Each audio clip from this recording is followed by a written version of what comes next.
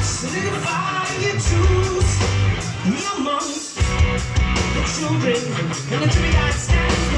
stand for